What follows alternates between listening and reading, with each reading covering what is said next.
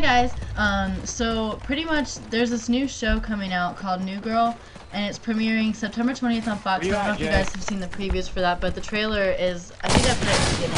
I think I'm gonna put it in the beginning, You'll sorry. But, um, it's on September 20th, and it looks really good. I don't know, like, if you guys would be interested in that kind of show or not, but, um, the show has this thing called a douchebag jar, and pretty much what it is, is, um, it's like a swear jar that, you know, some people make a swear jar every time like you swear you put some money in it.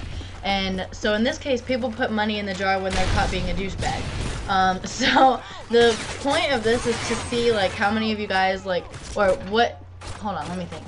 What, to see how many like different ways you can think of of why somebody would have to put money in the jar. Um, I think it would be fun to see like what you guys would think or like see like the funny stuff that you guys come up with. So leave a comment in this um, commentary and let me know what you think. Bye guys! Kill confirmed.